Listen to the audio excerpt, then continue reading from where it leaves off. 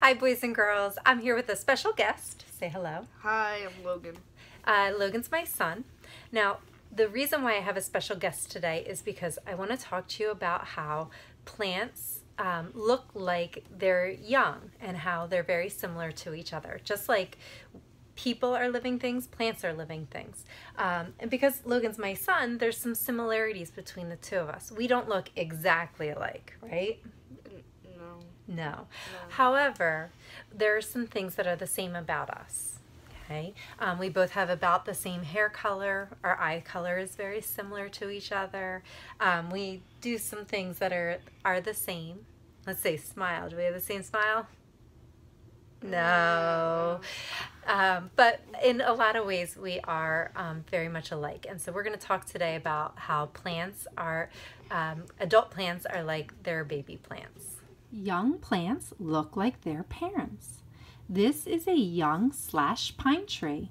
It will grow to be a tall adult like the ones behind it. The young tree and the adults have a lot in common. They both have skinny green leaves called needles. They both have a stem or trunk. Even though they are alike, they have some differences.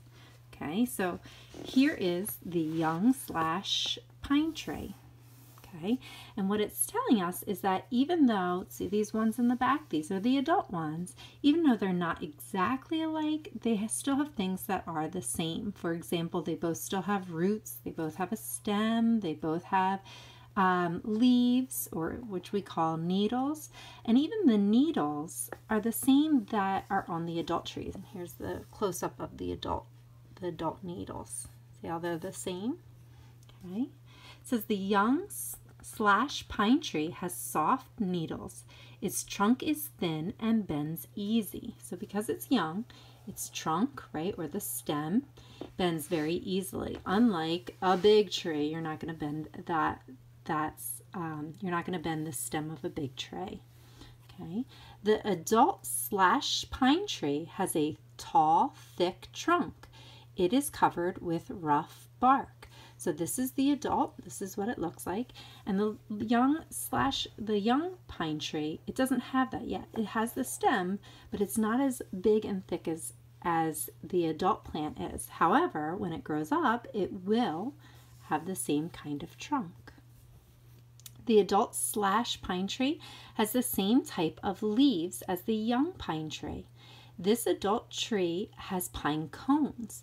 The young tree does not. So here it is. This is something that's different about the two of them. They have the same needles. However, only the pine cone only grows on the adult tree. That's because the pine cone is what holds the seeds and only the adult plants have the seeds. Okay, so those are some things that are the same and different. Remember, plants are living things, so they are very similar to, they like to look like their parents.